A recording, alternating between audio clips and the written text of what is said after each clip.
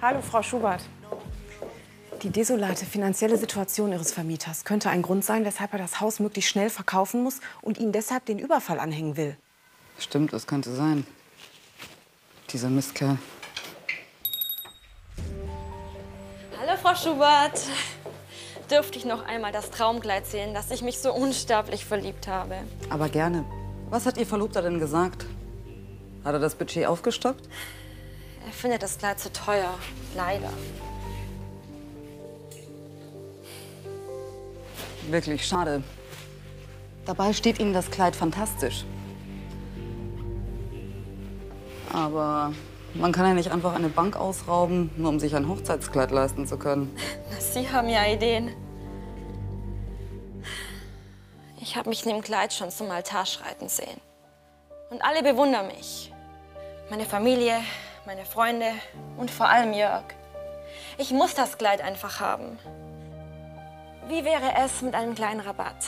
Soweit ich von Jörg weiß, müssen Sie den Laden sowieso bald schließen. Was? Das könnte Ihrem Verlobten so passen. Sie können ihm bestellen, er täuscht sich. Aber Jörg hat gesagt, das ist sicher. Ich habe Ihrem Jörg keine Zusage gegeben. Wenn er etwas anderes behauptet, dann lügt er.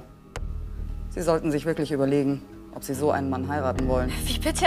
Was fällt Ihnen ein? Frau Schubert, bitte beherrschen Sie sich. Ich hätte nicht gedacht, dass Sie sich für so eine Intrige hergeben. Aber ich lasse mir kein Verbrechen anhängen. Weder von Ihnen noch von Ihrem Verlobten. Wie können Sie sowas sagen? Jörg ist ein wundervoller Mann. Er würde nie irgendetwas Kriminelles tun. Aber unter diesen Umständen ist es wohl besser, wenn ich mein Brautkleid woanders kaufe.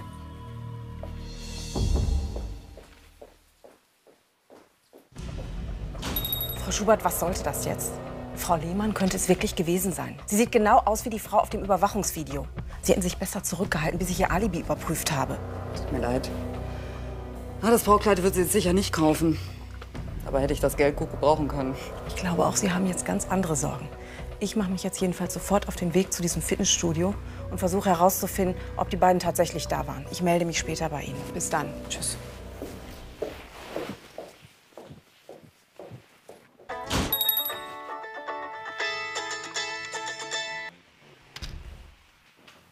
Schubert? Herr Kommissar, was gibt's? Was, Sie durchsuchen gerade mein Haus? Ja, dürfen Sie das? Ja, oh, okay, ich komme sofort. Rita Schubert hält die Hausdurchsuchung für reine Schikane und will die Sache deshalb schnell ohne ihre Anwältin klären. Ja, muss das jetzt wirklich sein? Kriminalhauptkommissar Bernd Reuter und sein Kollege von der Schutzpolizei lassen sich nicht beirren und setzen ihre Suche fort. Mit Erfolg, wie sich kurz darauf zeigt. Aha. Herr Kommissar, kommen Sie doch bitte mal.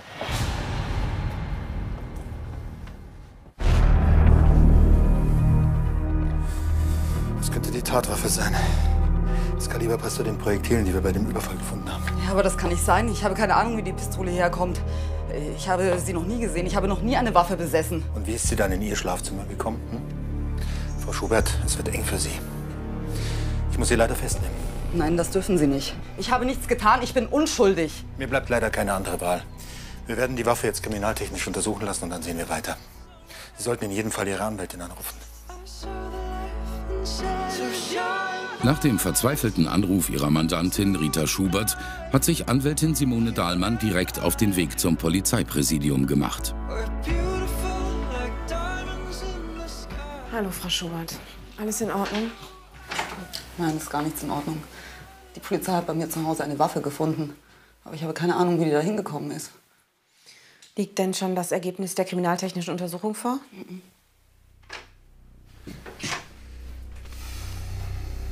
Hallo, Frau Dahlmann. Hallo, Herr Reuter. So, jetzt ist es sicher. Bei der Waffe hier handelt es sich eindeutig um die Tatwaffe. Wir haben übrigens die Fingerabdrücke von Frau Schubert darauf gefunden. Das ist unmöglich. Ich habe Ihnen doch schon gesagt, die Waffe gehört mir nicht und ich habe sie auch nicht angefasst. Also wissen Sie, das haben wir jetzt wirklich schon oft genug gehört. Die Fakten sind eindeutig. Beweist Ihre Schuld. Ich werde jetzt den Staatsanwalt informieren, damit der den Haftbefehl für Sie ausgibt. Ich bitte Sie, lassen Sie uns doch noch mal alles in Ruhe durchdenken. Ich bin mir sicher, Sie machen einen Fehler. Ein Fehler? Jetzt machen Sie sich doch nicht lächerlich, Frau Anwältin. Auf der Tatwaffe sind eindeutig die Fingerabdrücke Ihrer Mandantin. Fingerspuren?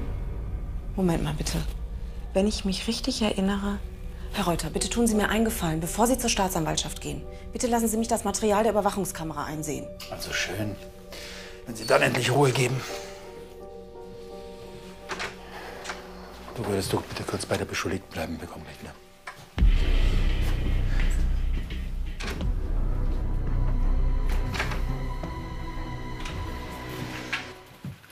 So, Danke.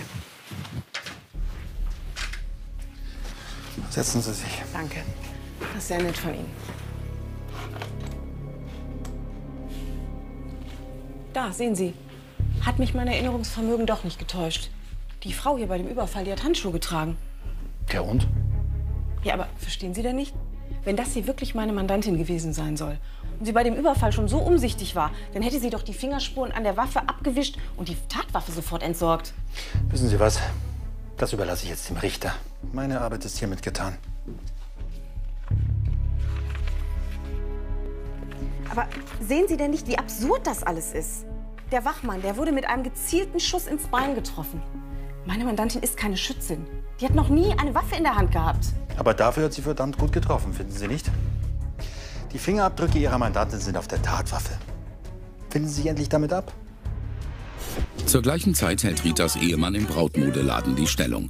Kundin Katrin Lehmann nutzt die Gunst der Stunde und versucht nun bei ihm einen Rabatt für ihr Traumkleid rauszuschlagen. Das sieht fantastisch aus.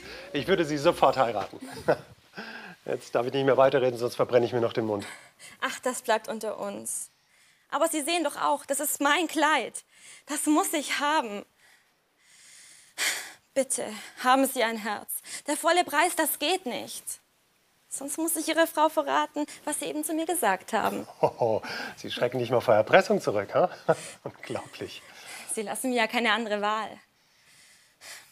Bitte. Also gut, weil Sie es sind und weil ich ja immer noch hoffe, dass ich mich mit Ihrem Verlobten geschäftlich einigen kann. Ich gebe Ihnen 35 Prozent. Danke, danke, danke. Damit machen Sie mich zur glücklichsten Frau der Welt.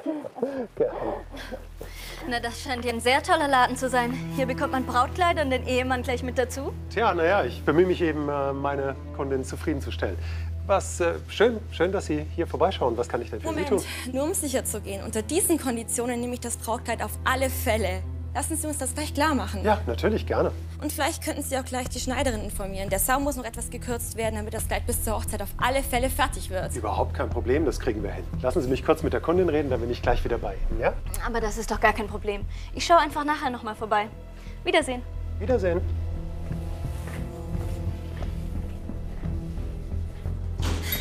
Was meinen Sie? Wenn man das Kleid hier noch ein bisschen enger machen würde, würde es die Taille besser betonen. Und die Brust kommt besser zur Geltung. Ja, das kann man, das kann man sich, klar, bestimmt. Ich bin so froh, dass Sie heute im Laden sind und nicht Ihre Frau. Die ist, um ehrlich zu sein, ein wenig merkwürdig. Gut, dann äh, ich rufe mal die Schneiderin an, die kann uns sicher mehr dazu sagen. Ähm,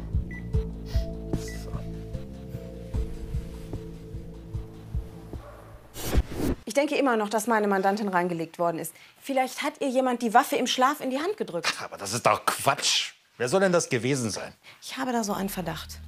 Der Vermieter meiner Mandantin, Jörg Basken, der steckt in Geldschwierigkeiten. Und der versucht, meine Mandantin dazu zu bringen, vorzeitig diesen Mietvertrag aufzulösen. Was hat das mit dem Überfall zu tun, der im Übrigen von einer Frau begangen wurde? Jörg Basken hat eine Verlobte, Katrin Lehmann. Und die sieht meiner Mandantin extrem ähnlich. Vielleicht haben die beiden diese üble Intrige gegen meine Mandantin gesponnen, um sie so aus dem Laden zu drängen. Moment mal, mir fällt da gerade was ein. Es gab doch diese Zeugin, die den Wagen meiner Mandantin gesehen hat. Wie hieß die doch mal? War das vielleicht Katrin Lehmann? Schade, das wäre auch zu einfach gewesen. Hier steht Claire Krause. Tja, sehen Sie? Trotzdem, bitte gehen Sie dem nach. Vor allen Dingen überprüfen Sie das Alibi der beiden. Die beiden behaupten, zur Tatzeit zusammen im Fitnessstudio gewesen zu sein. Also gut, ich werde dem nachgehen. Aber Ihre Mandantin kommt trotzdem in Untersuchungshaft.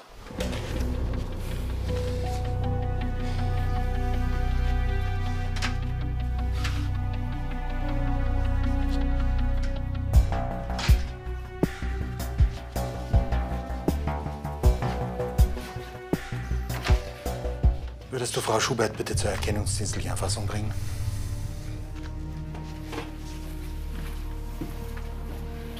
Muss ich jetzt wirklich hier bleiben? Können Sie nichts dagegen tun? Im Moment sind mir leider die Hände gebunden. Aber ich werde alles dafür tun, damit Sie hier so schnell wie möglich rauskommen. Ja, bitte helfen Sie mir. Ich weiß echt nicht, wie ich das aushalten soll. Ich tue, was ich kann. Versprochen. Ach, noch was. Ja? Könnten Sie bitte meinem Mann Bescheid geben? Er müsste im Laden sein. Ich hatte ihn noch angerufen, bevor ich zur Durchsuchung unseres Hauses gefahren bin. Ja, natürlich. Was soll ich ihm sagen? Er soll sich bitte um den Laden kümmern. Und er soll bitte ein paar Sachen einpacken und mir bringen. Zahnbürste und so. Ich kümmere mich drum. Bis bald. Die anderen feiern Programm. Ich kann es dem Kommissar nicht übel nehmen, dass er Frau Schubert bei der aktuellen Beweislage für schuldig hält. Umso wichtiger ist es herauszufinden, ob das Alibi von Jörg Basken und Katrin Lehmann wirklich Bestand hat. Aber zuerst muss ich zu dem Mann von Frau Schubert. Das habe ich ihr versprochen. Lass den Kopf nicht hängen, hör ich mich selber reden. Man kann nicht immer gewinnen. Dann viel Freude. Danke. Vielen, vielen Dank für den großzügigen Rabatt. Den Rest überweise ich Ihnen, sobald ich zu Hause bin. Wiedersehen. Wiedersehen. Sie haben das Kleid mit einem großzügigen Rabatt verkauft? Ja, das ist immer noch besser, als es nicht zu verkaufen. Aber nicht im Sinne Ihrer Frau. Die wollte Frau Lehmann keinen Rabatt geben. Ich glaube nicht, dass ich Ihnen Rechenschaft schuldig bin. Hm? Erzählen Sie mir lieber, was mit Rita los ist. Sie wurde festgenommen und kommt in Untersuchungshaft. An der Tatwaffe, die die Polizei bei Ihnen im Haus gefunden hat, wurden ihre Fingerspuren festgestellt. Das heißt. Das heißt, sie hat diesen Überfall wirklich begangen. Um diesen Laden zu retten, das ist doch verrückt. Das bezweifle ich. Ich denke immer noch, dass ihr jemand diesen Raub anhängen will. Vermutlich ihr Vermieter und seine Verlobte, der sie das Kleid gerade zu einem Spottpreis überlassen haben. Das ist doch Unsinn. Dieser Laden hier treibt uns alle noch ins Unglück. Ja? Je eher der geschlossen wird, desto besser. Dann hätte Herr Basken ja erreicht, was er wollte. Warten wir erst mal die weiteren Ermittlungen ab. Ihre Frau lässt Sie bitten, ein paar Sachen für Sie zusammenzupacken und zur Polizei zu bringen. Rita ist gut, wie soll ich denn das jetzt auch noch machen? Ich muss doch mich um alles kümmern, um Mareike und diesen Laden hier. Und nebenbei habe ich auch noch einen Job. Ja, ich will gar nicht dran denken, was mein Chef sagt. Also gut, wenn, wenn Sie die Sachen zusammenpacken, dann kann auch ich Ihrer Frau die Sachen bringen. Dann würde ich Sie am späten Nachmittag abholen, okay? Oh, das, das würden Sie machen? Das, das war wirklich sehr nett von Ihnen. Ja, gut, dann, dann packe ich ein paar Dinge zusammen, ja? Kein Problem. Und ich kümmere mich jetzt endlich um das Alibi von Herrn Basken und seiner Verlobten. Okay. Bis später. Bis später. Ritas Vermieter Jörg Basken hatte bei der Polizei nämlich angegeben, zur Tatzeit mit seiner Verlobten im Fitnessstudio gewesen zu sein. Hallo, guten Tag. Guten Tag. Wie kann ich Ihnen helfen? Sind Sie an unseren Kursen interessiert? Nein, danke, obwohl es bestimmt nicht schaden würde. Aber in meinem Job bleibt leider wenig Zeit. Simone Dahlmann, ich bin Rechtsanwältin und würde gerne mit Herrn Jörg Basken sprechen. Der trainiert doch regelmäßig hier. Ja, aber das habe ich schon der Polizei erzählt. Sie wollten auch wissen, ob er heute mit seiner Freundin schon da war. Und, waren Sie? Ja, das habe ich der Polizei auch gesagt. Ähm, meistens kommen sie ganz früh. Heute Morgen waren sie um halb acht da. Mist, dann habe ich Herrn Basken verpasst. Dann muss ich morgen früh noch mal wiederkommen. Aber so früh passt es mir eigentlich gar nicht.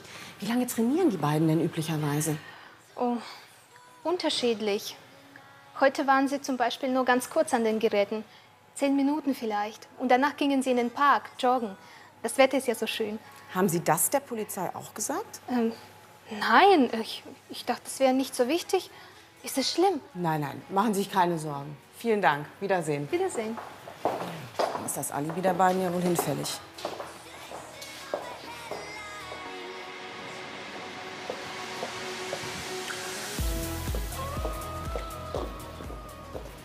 Ach, hallo Frau Lehmann. So schnell sieht man sich wieder.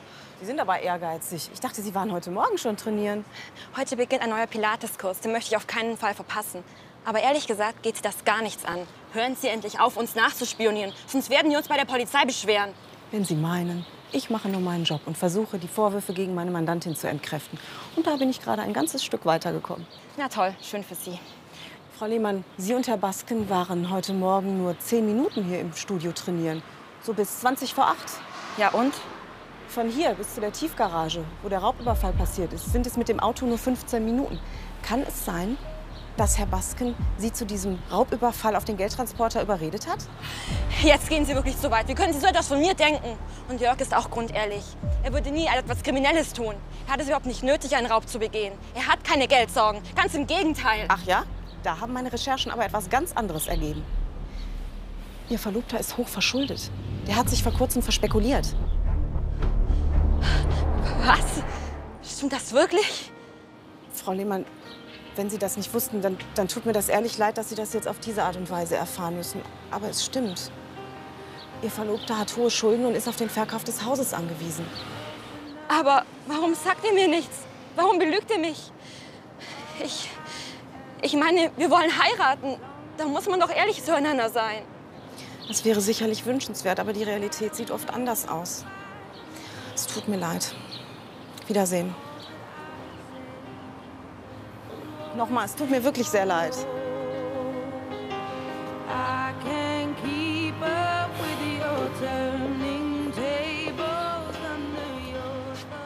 Das löchrige Alibi spricht eigentlich gegen Katrin Lehmann. Aber so überrascht, wie sie auf die Finanzprobleme ihres Verlobten reagiert hat, denke ich eigentlich nicht mehr, dass sie etwas mit diesem Überfall zu tun hat. Aber wenn Katrin Lehmann diesen Überfall nicht begangen hat, wer dann?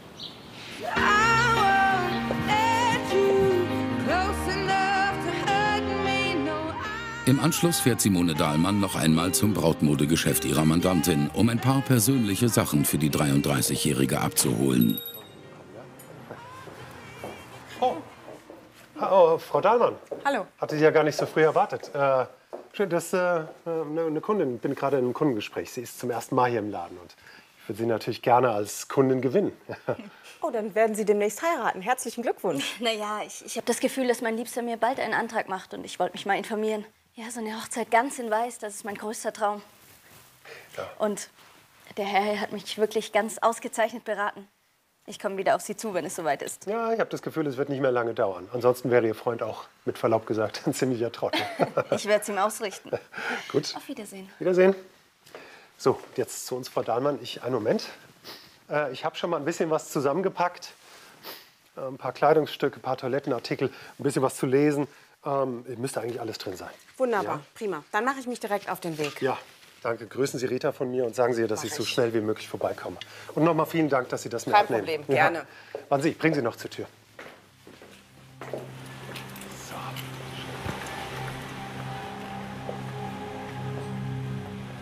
Tante Clea, kannst du mir wieder ein Eis kaufen, wie letztes Mal, wo wir mit Papa im Zoo waren? Sie kennen die Tochter von Herrn Schubert? Äh, ja, Schubert und ich, wir, wir sind Arbeitskollegen. Hatten wir das nicht erwähnt? Ja, genau. Sag auch schöne Grüße im Büro. Und ich komme dann morgen auf jeden Fall äh, vorbei. So, ja, Mareike, wir gehen dann am besten mal rein. Wird schon ein bisschen kühl, ne? Stehen den einfach hier ab. Ja, dann, äh, Frau Dahlmann. Ja. Bis dann. Bis dann. Die Rechtsanwältin hat feine Antennen und Leos Nervosität ist ihr nicht entgangen. Dennoch muss sie erstmal ihre Mandantin in der Untersuchungshaft besuchen, denn die Situation setzt Rita nicht nur seelisch zu. Hallo, Frau Schubert. Man hat mir gesagt, es geht Ihnen nicht gut. Ach, ist nichts Schlimmes. Der Stress hat mir auf den Magen geschlagen. Aber es wird schon wieder, die haben mir was gegeben. Dann ist es gut. Hier, die Sachen habe ich Ihnen mitgebracht mit einem schönen Gruß von Ihrem Mann. Er will so schnell wie möglich vorbeikommen. Eigentlich hoffe ich ja eher, dass ich hier bald wieder rauskomme. Haben Sie denn jetzt das Alibi von Katrin überprüft? Ich habe mit ihr gesprochen. Aber ehrlich gesagt glaube ich nicht mehr, dass sie etwas mit diesem Überfall zu tun hat. Sie hatte absolut keine Ahnung von der finanziellen Schieflage ihres Verlobten. Ja, aber wer war es dann? Tja. Frau Schubert, ich frage Sie das wirklich nicht gerne.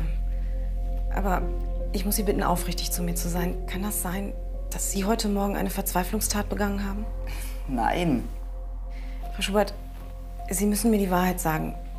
Das ist ganz wichtig. Ich kann Ihnen helfen. Aber Sie müssen ehrlich zu mir sein. Nein, ich war das nicht. Das müssen Sie mir glauben. Hey, ich könnte sowas nie tun. Entschuldigen Sie, ich stelle den Mist gleich ab. Das ist eh nur eine Wiederholung. Nein, nein, Moment, machen Sie mal lauter. Die Frau kenne ich doch. Die war heute bei ihrem Mann im Brautmodenladen und hat behauptet, eine Arbeitskollegin zu sein. Da ist die Schauspielerin, da stimmt doch was nicht. Ich weiß auch nicht, wie das passiert, meine. Diese Frau war bei mir im Laden? Ich weiß nicht.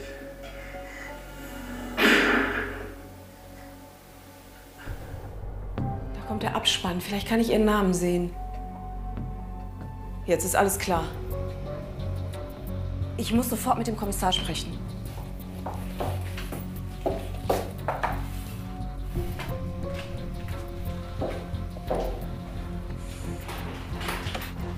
Simone Dahlmann hat herausgefunden, dass der anonyme Hinweis auf ihre Mandantin von Claire Krause stammt. Die Soap-Schauspielerin bereitet sich gerade auf den Dreh vor, als sie eine romantische Überraschung erreicht. Ich kann nicht ohne ihn. Ich. Mist, warum kann ich mir den Text nicht merken? Hi. Ich schätze, in zehn Minuten geht's weiter. Der Kameramann und Regisseur brauchen noch ein bisschen Zeit. Alles klar. Okay. Ach ja, das hier wurde noch für dich abgegeben. Ah, vielen Dank.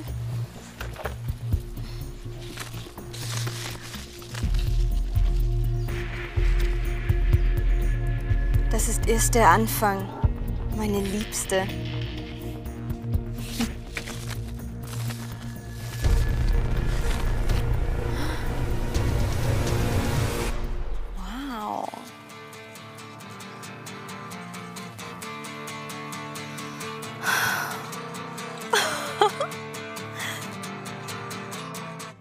Anwältin ist sich sicher, dass Ritas Ehemann und die Schauspielerin unter einer Decke stecken und will ihn mit einem Trick überführen.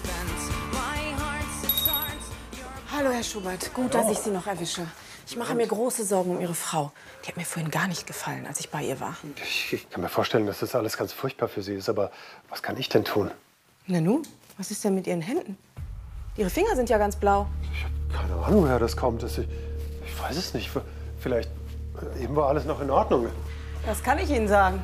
Das ist der Beweis dafür, dass Sie hinter dem Überfall auf den Geldtransport stecken. Unsinn. Was, was soll das denn hier bedeuten? Der Kommissar hat mir mitgeteilt, dass das gestohlene Geld mit der Chemikalie Ninhydrin behandelt war, das sich bei Berührung der Scheine auf die Hände überträgt und die dann blau färbt. Das heißt, Sie haben das gestohlene Geld angefasst. Nein, nein, nein, nein. Nein, das habe ich.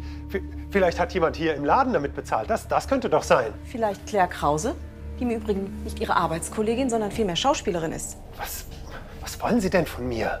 Herr Schubert, geben Sie es doch zu. Sie haben eine Affäre mit Claire Krause. Mit ihr haben Sie den Überfall geplant. Sie hat eine blonde Perücke getragen und die Kleidung ihrer Frau, damit jeder denkt, ihre Frau habe den Überfall begangen. Frau Krause war es auch, die den Wagen ihrer Frau beim Überfall gesehen hat. Und Sie waren es, der der Polizei den anonymen Hinweis auf Ihre Frau gegeben hat. So war es doch.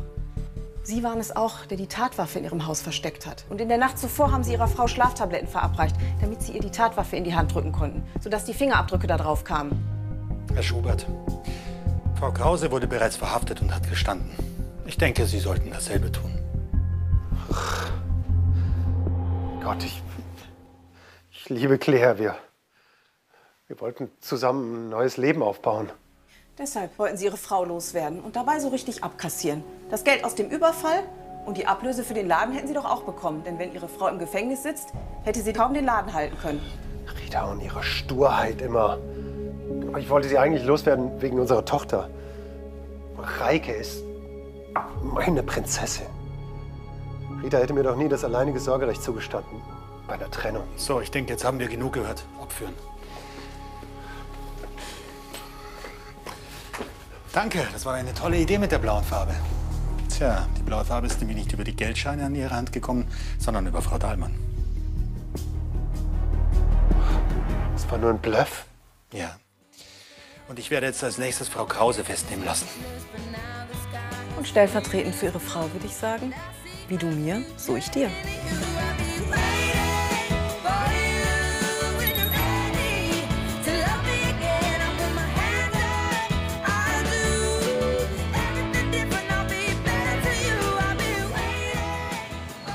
Um Geld und das alleinige Sorgerecht für seine Tochter zu bekommen, wollte Herr Schubert seine Frau unschuldig ins Gefängnis bringen. Da muss er jetzt selbst hin und wird seine Tochter wohl für lange Zeit nicht wiedersehen. Er wird sich wegen Anstiftung zum schweren Raub und zur gefährlichen Körperverletzung zu verantworten haben. Außerdem wegen gemeinschaftlicher falscher Verdächtigung und Verstoß gegen das Waffengesetz. Ihm drohen mindestens fünf Jahre Gefängnis. Claire Krause, die er angestiftet hat, muss mit einer ähnlich hohen Strafe rechnen.